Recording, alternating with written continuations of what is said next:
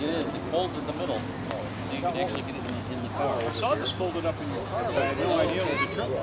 Yep. Now that's a microcar. It's a family mover. Triple stroller, just like the Subaru 360, or better yet, a Subaru 360 van with suitcases on top. That's a lot of suitcases.